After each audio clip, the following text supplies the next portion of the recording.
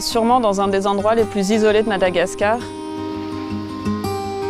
On est sur une zone qui est très riche de biodiversité, avec euh, un climat très humide, mais qui donne aussi euh, toute sa splendeur à la zone.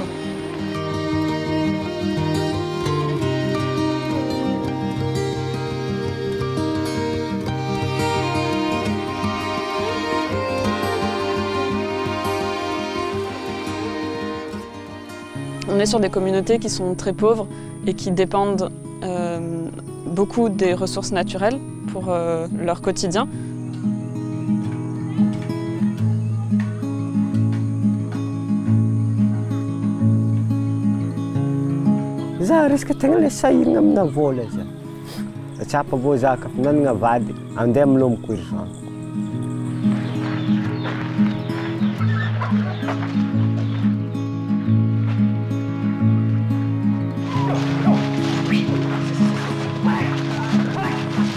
zare miandroko kefa tsy mahasamagna anzay noho ny tany mety nahay mahay mazava ny tany.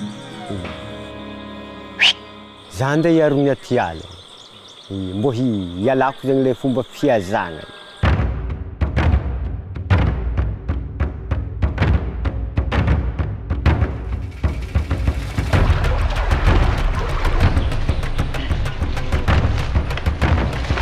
personnes ici, puisqu'elles dépendent de la forêt de Makira, elles sont aussi responsables de la protéger, donc elles font régulièrement des patrouilles dans le cadre euh, du programme SWM notamment, pour euh, s'assurer que les, les règles sont bien respectées, qu'il n'y a pas d'infraction et pour que l'intégrité de la forêt soit préservée. On fait les projets pour qu'on puisse utiliser la faune de manière durable. On fait la sensibilisation sur la loi, euh, les périodes où on peut chasser pour les animaux qu'on peut chasser. Comme ça, la génération future ait toujours les bénéfices de la forêt.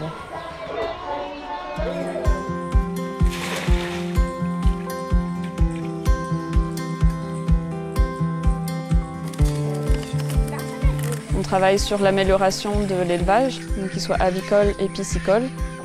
Et on suit le tout avec euh, donc des enquêtes pour mesurer les indices de richesse ou de bien-être de la communauté.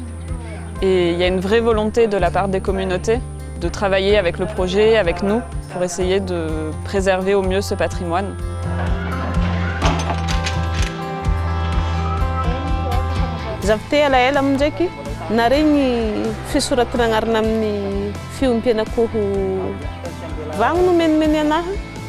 Mety roa zay tsy mijaly. Fôntry zegny lay olo tafagnaraka izy io magniry izy zegny mety mienkienka ao lay fandeha fiazanan'olo raha agnaty ala. Pour moi, peut-être le plus important, c'est vraiment de réussir à concilier à la fois euh, conservation de la biodiversité et sécurité alimentaire des populations qui vivent autour de Makir et qui dépendent euh, ardemment de ces ressources naturelles. Le futur est belle, espérons, mais on fait des efforts pour qu'on y arrive. Voilà, j'aime mon travail.